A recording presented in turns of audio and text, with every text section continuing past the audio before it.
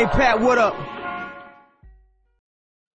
Hey guys, it's Bam here. Uh, I've got a tutorial for you just of uh, an element of the little preview clip that I had back there. So what I'm going to do is be putting a scribble uh, just around the gun. So basically between the gun and the background, which is a pretty cool effect that you can use. You can pretty much scribble on anything. So what I'm just going to do is uh, put this clip at the start.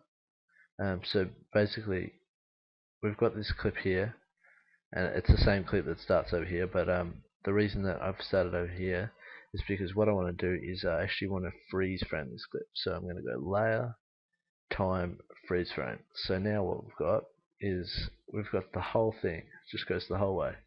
Now we're going to go up to make sure we're on it, yep, onto the end, and then press Alt uh, and end or close square bracket.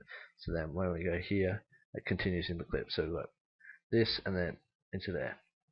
So it won't look as polished because we haven't got all the scale and stuff like that on at the start and the uh, black bars, but basically this is going to be the basic effect and then you can add everything else on that you will uh, personalize. So we've got this here. What we want to do is uh, press Control and D and that will give us two of these clips. And we'll just hide the bottom one. Now what we want to do is uh, zoom out as far, get this screen as big as we can. Make sure we clicked on the top one, Fit up to 100%, yes. Okay. Now what we want to do is just start masking the little gun here and everything on the gun. So what I'm going to do is I'm just going to speed this up. So all I'm going to do is just follow the outside of this. And I'll see you when I'm finished.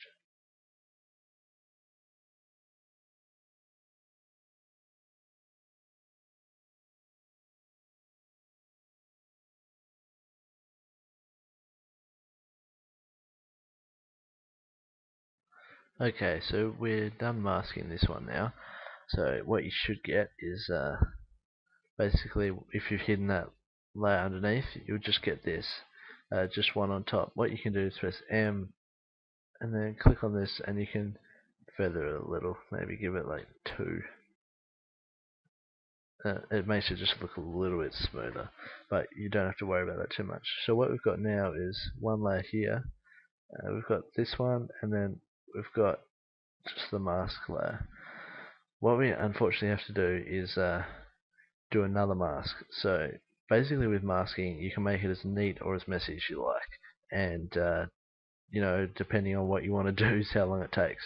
So what we're going to do now is um, do a similar thing but we're going to mask like with maybe a little bit of room around the outside so I'll just give you an example quickly so we would say mask about like like that, like that much room.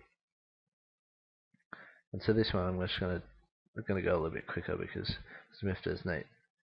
I'll speed it up now though.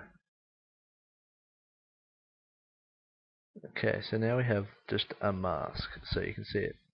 When I drag this layer back up, there's just a mask around the outside. What we want to do is go Effect, Generate, and then choose Scribble and we've got this little scribble thing, but there's nothing behind it. So how we change that is go click composite down the bottom where it says on transparent, change that and go on original image. So now we can see the gun underneath, drag your layer and chuck it underneath. So now we've got the basic scribble. I mean, it's a bit messy, but you know, I could change it a little bit if I wanted. So get a little bit neater. And the top of the gun. That looks a little bit better. Okay, so we've got that, and wait, one more, and I'll drag this in. Okay, so we've got this scribble. What you can do is you can change the change the angle. So you may want it that way, following the gun, or say you're masking something else on the side, but anyway, we're just going to keep it at 60.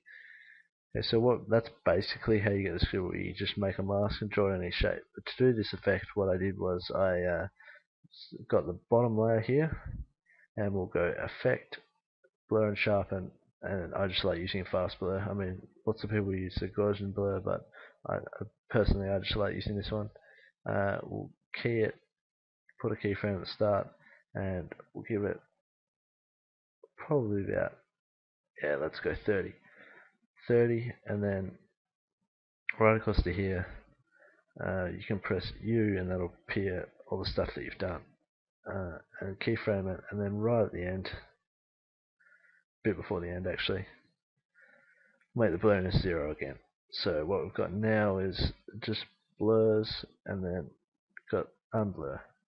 Okay, now what we want to do is uh, change the opacity of the scribble. So as it blurs in, I'll change key opacity, key where you want to finish, go back to the first one and make it zero. So now we've got that and then I'll probably start key, key this out a little bit later just to make it a little bit different and right as it hits the clip we'll go zero.